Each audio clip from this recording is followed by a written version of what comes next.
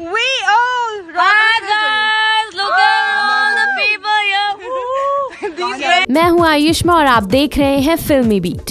Big boss के घर में इतने दिन टिक कर आखिरकार ये खिताब मनवीर गुज्जर ने अपने नाम कर लिया। मनवीर ने इस घर में एक आम सदस्य के रूप में प्रवेश किया था।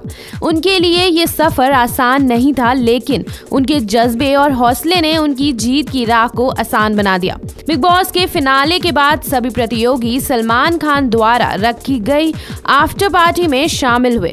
जी हाँ हर बार की तरह इस बार भी सलमान ने बिग बॉस के कंटेस्टेंट्स के लिए आफ्टर पार्टी थ्रो की, जिसमें बिग बॉस टेन के सभी कंटेस्टेंट राहुल देव, रोहन मेहरा, नितिबा कौल, मनवीर और घर के कई अन्य सदस्य नज़र आए।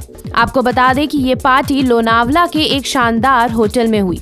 बिग बॉस का सफ़र 16 अक्टूबर को शुरू हुआ था और इस शो का नया कॉन्सेप्ट पिछले कई सीज़न से बिल्कुल अलग था। इस बार सेलिब्रिटीज के साथ साथ कुछ आम सदस्यों ने भी घर में प्रवेश किया था। इस सीज़न में इतने हंगामे और विवाद हुए जितना किसी और सीज़न में नहीं हुए।